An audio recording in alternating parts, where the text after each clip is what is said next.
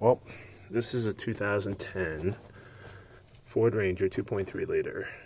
Uh, took the valve cover off to change the valve cover gasket. That's a pain in the ass, by the way. Um, anyway, I want to. I'm curious. I don't know if anyone can. If this is too much play in the timing chain.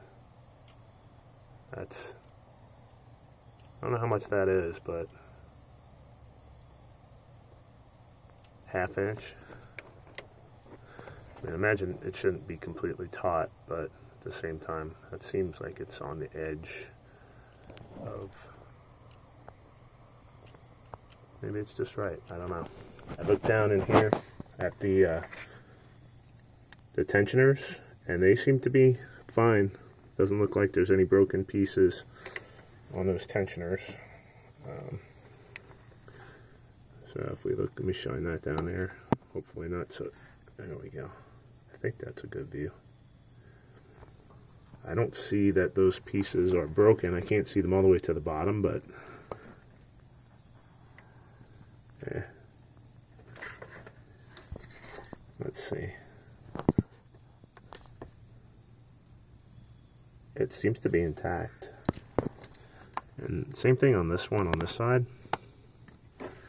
That tensioner seems to be, ouch. From what I can tell, it appears to be intact.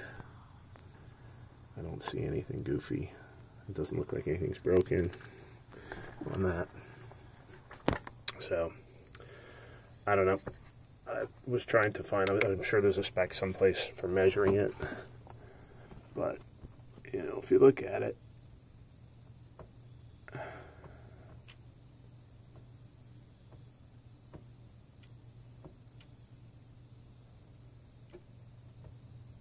a little deflection downward.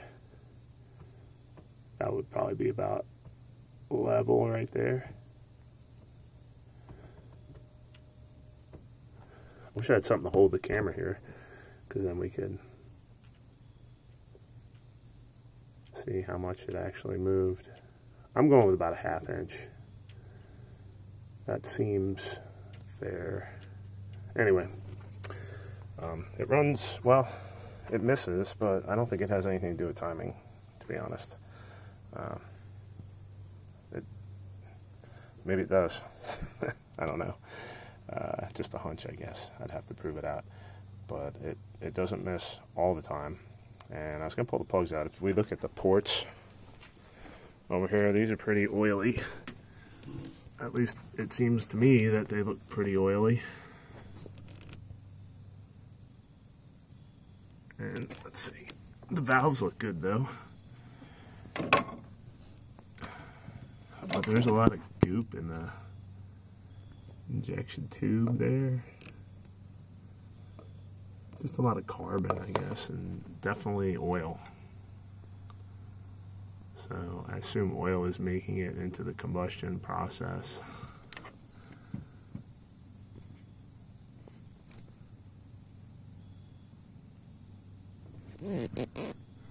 I don't know. It's got 130,000 miles on it.